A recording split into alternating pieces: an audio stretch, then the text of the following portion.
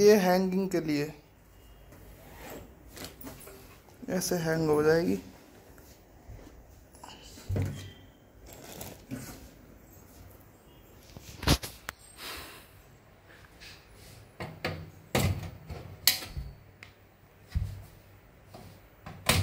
ऐसे ओपन हो जाएगा, ये हो गई मोटर।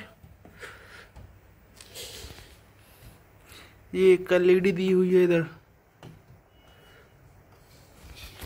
ये इसके थोड़े कंट्रोल के लिए बटन है।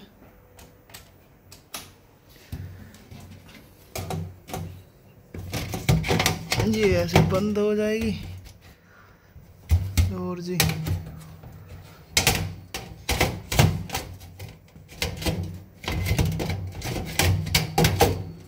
अरे लग जा, चलो लग जाएगी बाद में। और एक ये है। जिंदल स्टील का है। ये क्या है भाई? ये क्या है स्टील का? चार गिट्टी, पेच। ये इसका यूज़र गाइड है। ये इसके ऊपर लग जाएगा ऐसे। ये हैंगिंग के लिए, ये स्विच बोर्ड में लग जाएगा। सक्शन के लिए। चलो। ट्राई करते हैं इसको लगाने के बाद।